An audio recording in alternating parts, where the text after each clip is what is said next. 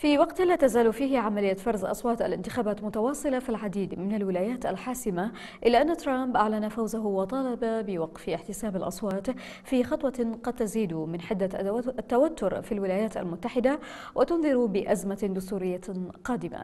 ولا تزال عملية فرز الأصوات متواصلة لمعرفة نتيجة الانتخابات الرئاسية الأمريكية بين الرئيس المنتهية ولايته دونالد ترامب ومنافسه الديمقراطي جو بايدن مع توقعات بأن تستغرق عملية الفرز أياما.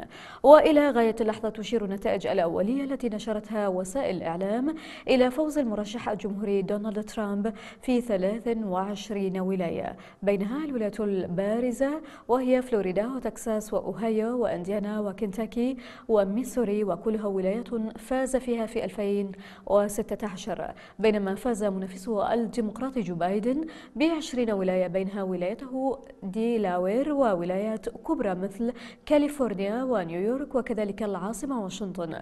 ويتطلب الفوز بالرئاسة الحصول على أصوات 270 من كبار الناخبين في الهيئة الناخبة. وكما طلب بشكل مبهم جدا بوقف فرز كل الأصوات مؤكدا أنه يعتزم اللجوء إلى المحكمة العليا.